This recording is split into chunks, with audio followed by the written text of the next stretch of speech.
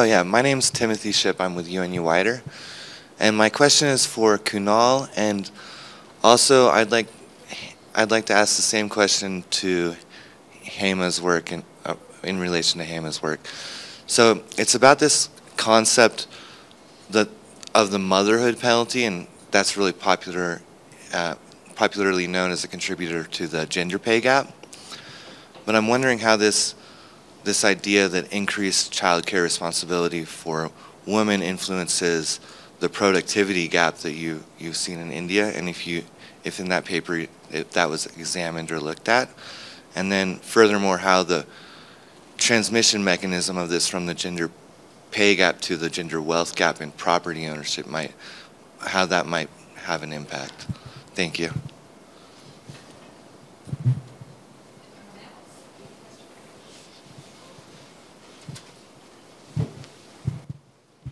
My name is Paula Herrera. I'm a professor at Universidad Javeriana. Thank you very much for this session. It was really interesting, all the papers that you presented. So I, I have one question for Kunal. Uh, it's related to the, the questions they were raised before, but how much of the labor productivity that you're measuring is uh, being affected by the fact that maybe women are having more home-based production in informality activities and men are having their activities, although they are informal, they are being doing in factory or in the street. I don't know how, how it works, but maybe the place where these activities are taking place uh, can affect this labor productivity. So I was wondering if you had this uh, data in mind or if you did something related. And I have a question for Julia, which is, I know you said that profits increased by a lot. It's like, it was amazing, but I was wondering how much does that mean in terms of minimum wage or in terms of the spending of a household? Because as far as I know, for instance, in, in Bogota, you can have an informal or an entrepreneur uh, who is making some profit, but if they are too small, then these large increases might not mean too much and could also explain the fact that the nutrition facts for the children are not improving.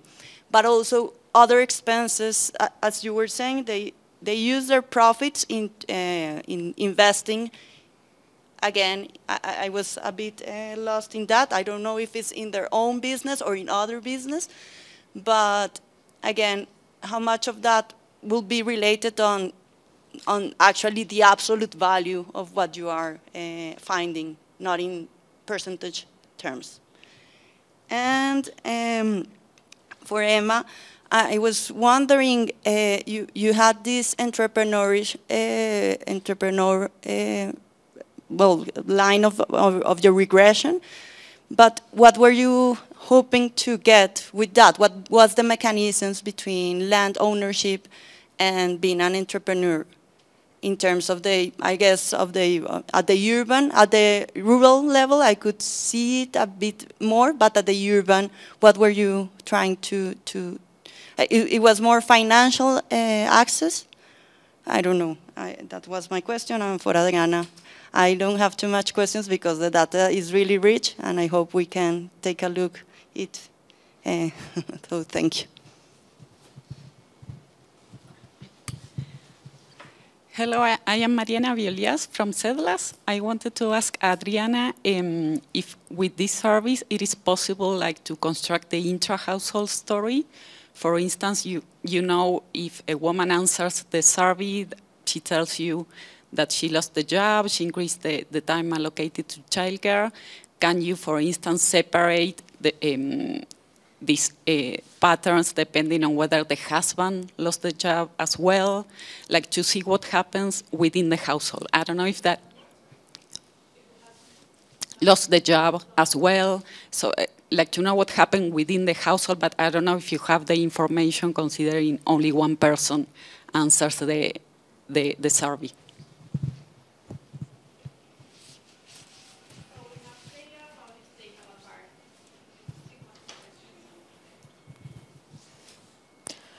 Hi, uh, I'm Estefania from Universidad de la República.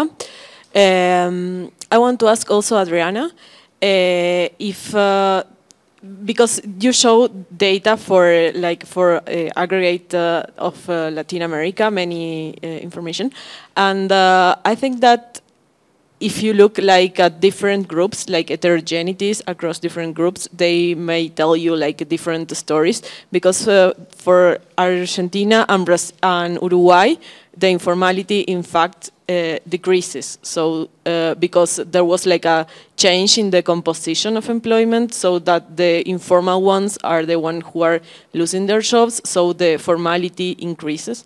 So maybe you can do like more heterogeneous analysis by different countries. And it will be nice if you could like relate this with the policies that were implemented in each country, like uh, those countries that were where the formality was higher, they also uh, do a lot of uh, policies like related to formal labor market, like uh, unemployment insurance and these kind of things. So I think that this analysis will be interesting to incorporate.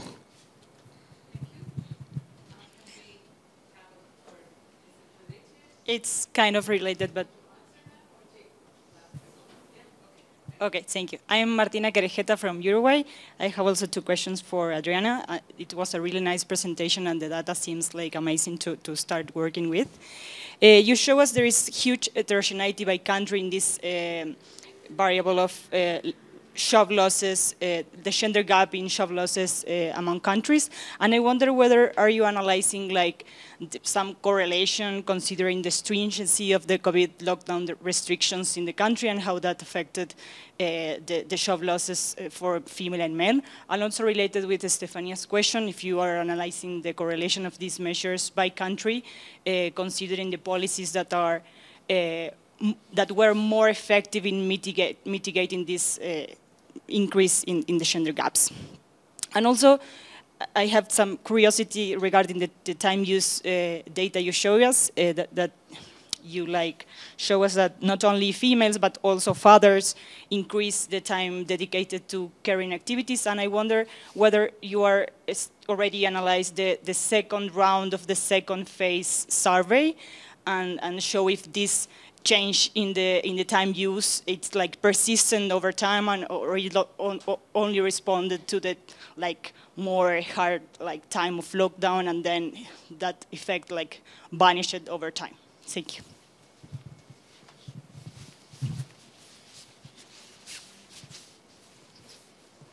Thank you all very much. I think. Uh, Sure. They ask them first. Yeah. They want to go first. Yeah. Okay. Like, no, no, no. You're invited. No, no, no. no. then Hema should start. Okay, all right. yes, um, all right. Uh, thank you all for the questions. I think there was one from Tim that was uh, common to both uh, me and Kunal. Uh, we so didn't in this particular paper we didn't really look at uh, motherhood penalty. There are legislations that you can look at that say whether you have uh, mandated maternity leave or and if you have uh, mandated paternity leave.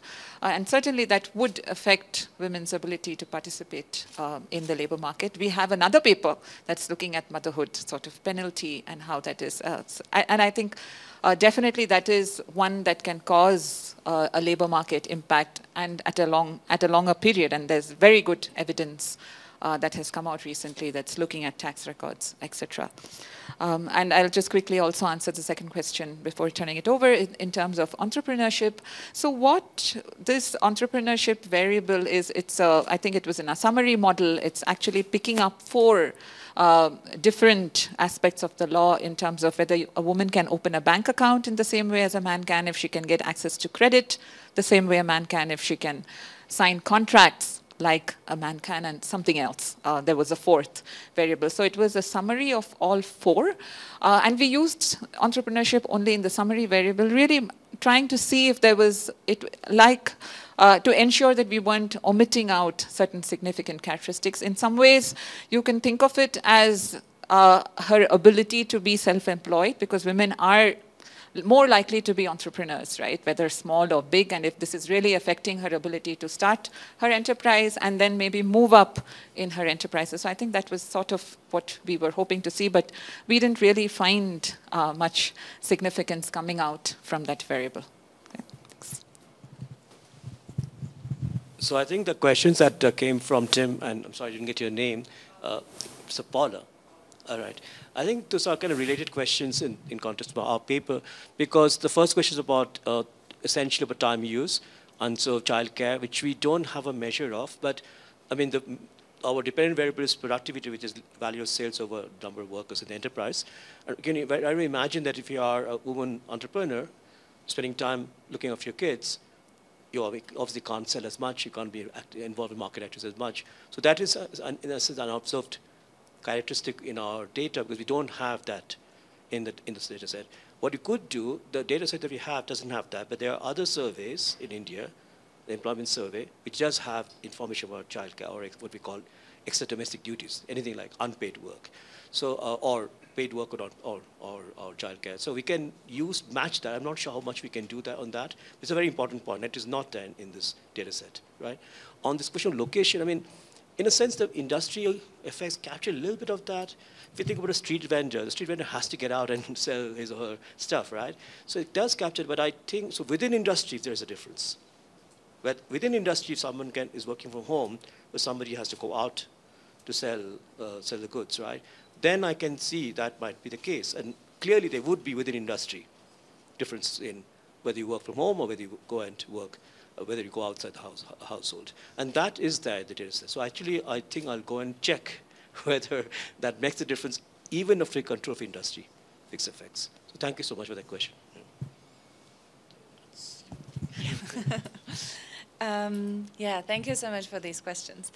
You're absolutely right that, I mean, these are ultra poor women, right? And I mean, you might say going from zero to like something positive you know, um, is relatively easy, but that's something that I would debate.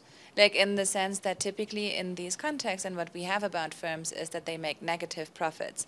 So the fact that they even make something um, is still a very positive effect. Like it's still a massive income growth in this context.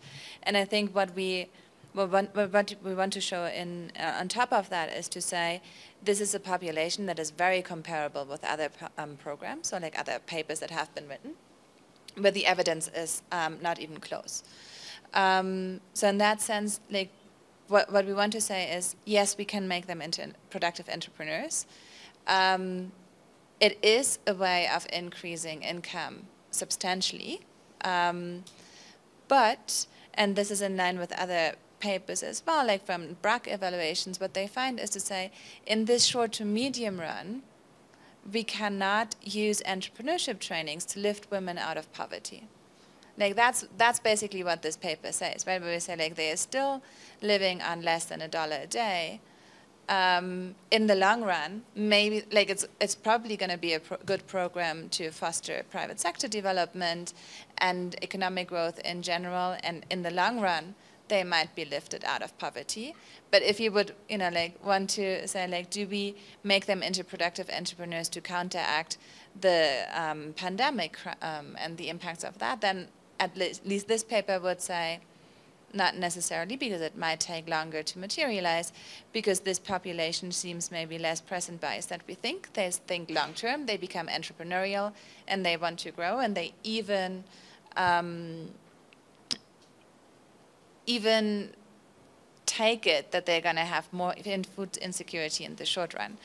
Um, and then basically what you're asking about the reinvestments is an accounting exercise that we have been asked about a lot. The problem is that these are measures that are very, very different. Right, because I mean, we can ask about total savings and like how much did you spend on food yesterday and how much did you reinvest in general. But to make this comparable, I think it's like really difficult to go from a measure about saying how much did you make in income last month to then like divide it up into where this money is going. Because then you have shocks you, you need to have this money. But in general what we what we find is some of the money that they make go back into the household because like household expenditures do increase by like a bit it's just not high enough to actually you know say like there's a substantial increase in consumption that would make them un, like not poor. And like that's basically where we're going with. But like of course some part of it does go back to the household, just not enough to actually make a difference. Okay. So thank you for the questions. I'm going to answer whatever I wrote here, and maybe Javier, if you want to complement something. Uh, regarding the intra-household story, Uh, we have questions, so we are not asking everything about the partner, but we have a question if they have a partner or not, uh, and we know if they are working or not as well. We don't know their. We know if they have a higher income as well. I think. Um, so so that's something that we that you can control for if you're doing. Uh, this is just descriptive, and these are just tables and tabs. So if you're going to do regressions and things like that, of course you can include all those controls. Um, so that's what we know about household. And for example, in the household, we know if they have kids which are not their children as well. So some of the things you can you can you can look if, if the kids are are or not the children are and how many other like like we have the composition of the of the household in terms of if there are older people in the household or not and things like that. So we kind of constructed, but it's a phone survey and it was like 30 minutes and we needed to ask as much as we could. um, so yeah, you can construct a little bit of the story. Uh, in terms of of Argentina and informality decreases and things like that, well, as you might know, Argentina asks in a very different way informality compared to other countries, right? In, in the household surveys, like there are differences in terms of like. I remember that we were there and they told us that they cannot ask if they are if if the firm is informal or if you are not paying social security because you will have to tell that they are doing something that it's illegal. Yeah. So in in in the in the way they are getting data, uh, in the way that household surveys are, are being collecting data is not as in other countries that you could ask, are you paying for pension or are you not paying for pension? Uh, but we can talk about it later and, and, you can tell me about this. And yes, we have notes by country. So we have, but for the first round, we have the notes uh, uh, that we did with the, with the World Bank, and we have a second wave of notes that we also processed for the second round by countries. And you can see a big difference. For example, as I was telling, in, in Argentina, uh, the opening of schools was really was really big. Uh, it was a big change between the mid and the end of 2021. And you can see there that the entrance, so the inactive or the ones who didn't have a job, are entering a lot into in the formal or informal sectors. But employment was like activated by the by the starting up of, of school in in-person school and not a virtual school. So so you can see all these details that are different country by country, and it's and it's interesting to look at it that way. Uh, and it's also easy to do it because the the the data sets are representative by country, so you could just take your own country and go ahead and do any analysis. And we have, like the data is between 1,001 and 1,200 uh, observations per, per, per country, but for example, Mexico has a much higher um, sample size, or Haiti has a big sample size as well. Um, in terms of job loss and gender gaps and the lockdowns and things like that, this is these are all the questions that we have to exploit and that you can exploit as well with the data. Like what we would want is, this is a project which was really long, involved very a lot of people, involved lots of money. So I think the best way to, to exploit it is that as many people as possible can use the data. So you just go there and download the data and and you can do as many things as, as, as, as you want. I have been doing some kind of correlations. So for example, with education, I have been looking at, at, at the numbers. And the thing is that I believe that the countries started like in a block, like politicians needed to take decisions which were very difficult. So a lockdown. So everybody did the lockdown almost at the same time. And everybody opened almost at the same time. So for us, it was like, yes, a week, a month. But in the data, you cannot see it as much of, of a difference because, because they were just like uh, started in March and ended in September, some October, some Brazil, for example, had a, a, a smaller lockdown. So you can you can try to test, but they're like three groups, let's say. So there's not much variation in terms of the policies, just to be able to do analysis of differential policies uh, compared to, to the outcomes that, that, that you got. But the data is open to do whatever, and like very interesting questions are there. Um, and, and regarding the, the second round of surveys, yes, we have done work on, on, on looking at, at the information, and we did check the question about the time use. It's, it's not a time, it's not that we have, you spent how many hours doing this, but if it increased, decreased, yeah. Uh, and what we see is a slight change in the in the increase in the report of, of increase of of time spent doing household activities. So it increased a little bit for household in general, and it decreased for uh, childcare and education and assistance to education. And in the countries that you see the most reduction in assistance to education is when the school in present in person is more than 90%. So you see there like a big drop in terms of how much uh, the time spent assisting kids um, um, is taking is taking uh, time from from from the from the individual that we're uh, analyzing. Um, I think these are all the questions. Javier, do you want to say something? Something else? No? Yeah? Okay. Thank you. I think we have time for a few more questions. I actually don't have a question, but just to add, hi. Uh, all, all of this analytical work is already available online at the UNDP uh, eh, website, in addition to the, to the data. All of the, like the joint work with the World Bank and some of the notes that are no, not joint work.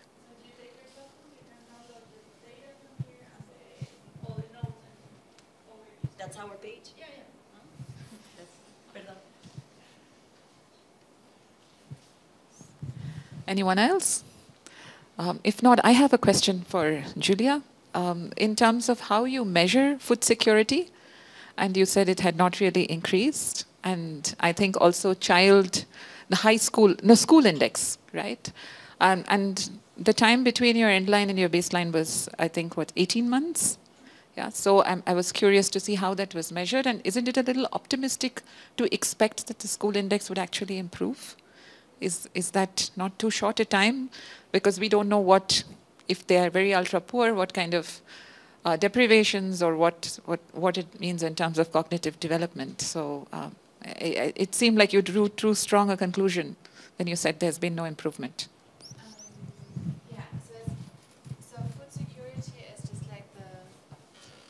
So food security or like insecurity is just a factor of like have you experienced um,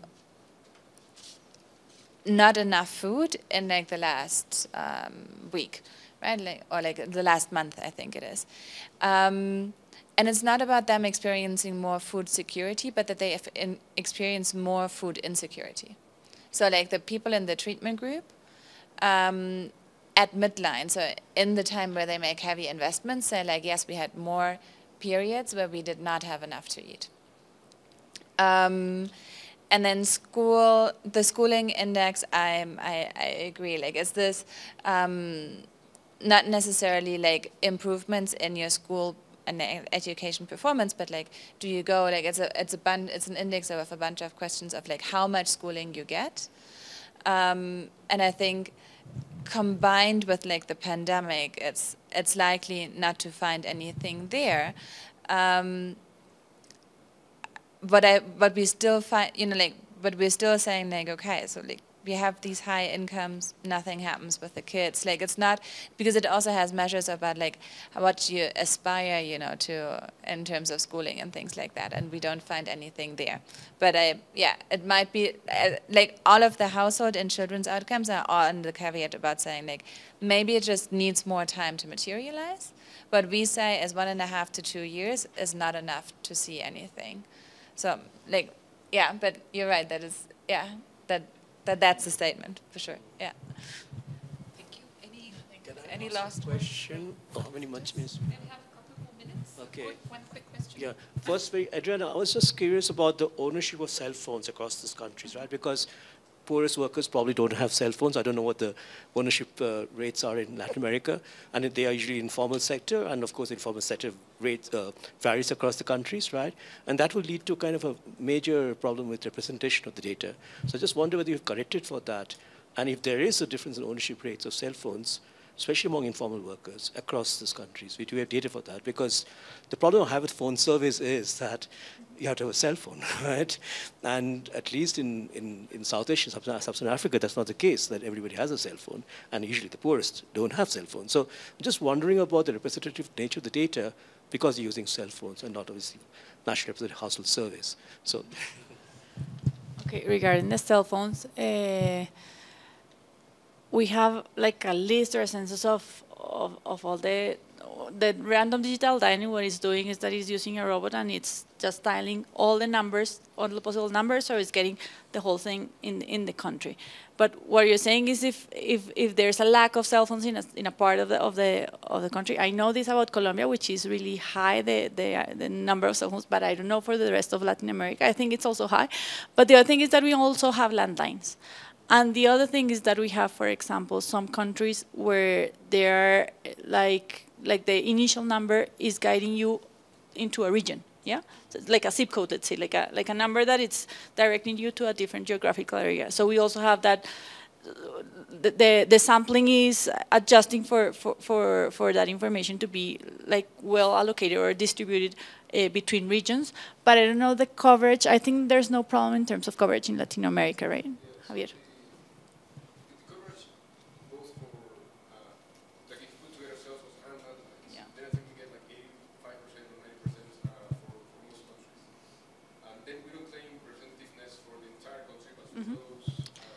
Yeah, for older than 19 with a cell phone. Yeah, that's that's the restriction that we are imposing initially as well. Yeah.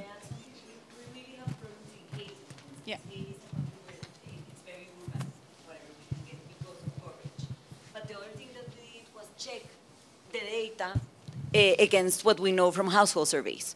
And so that's a reason uh, why we don't have a rural urban analysis for all countries whenever like we didn't get the correct numbers. So we did this check because we were we had that concern, even though the sampling was done so that it would be representative with no with no problem. Uh, so, you can correct a little bit for uh, the let's say the number of observations would correct a little bit for the, the mistakes that you have in terms of the sampling. All right. Thank you all very much.